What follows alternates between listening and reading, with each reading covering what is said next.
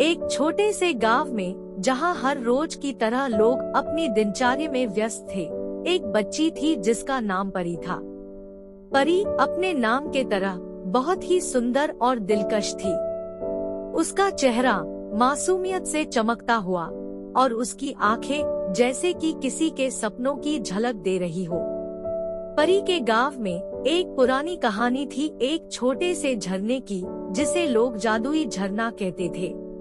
कहानी के मुताबिक, अगर कोई वहाँ जाता और साछे दिल से अपने सपने माँगता तो उनका सपना पूरा हो जाता था। एक दिन, परी अपने दोस्त राधा के साथ जादुई झरने की तरफ़ गई। राधा, प्रगतिवादी और प्रगतिशील थी जबकि परी, सपनों की दुनिया में खोई हुई। जब दोनों झरना के पास पहुँचे तो राधा ने परी से कहा, परी, ये कहानी तो सच नहीं हो सकती। परी मुस्कुराई और कहा, शायद, लेकिन कोशिश करने में क्या बुराई है?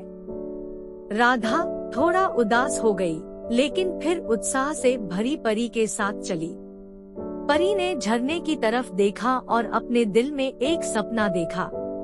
उसने सपना देखा कि उसका गाँव खुशियों से भर गया है, हर कोना खिल रहा है, और लोग मुस्कुराहट से जी रहे हैं। कुछ ही पालन में जैसे कि झरने के पानी ने उसके सपने को ग्रहण किया। एक चमक तेज रोशनी बन गई और परी के सपने शुरू हो गए सच होने की दिशा में। गाँव में खुशियाँ फैल गई, लोग मुस्कुराने लगे और परी के सपनों ने सबको प्रभावित किया। राधा को ये देखकर विश्वास हुआ कि कहानी सच थी। परी की साहस भरी कोशिश ने गाँव को खुशियाँ दी।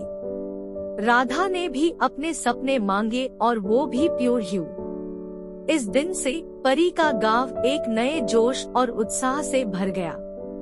परी और राधा के सपने जादुई झरना की चमक में हर रोज और भी टकटवार बनते गए। इस कहानी से हमें ये शिक्षा मिलती है कि सपने देखना उन्हें सच करने का प्रथम कदम होता है। और जब हम साचे दिल से कुछ मांगते हैं तो पूरा ब्रह्मांड हमारे साथ होता है।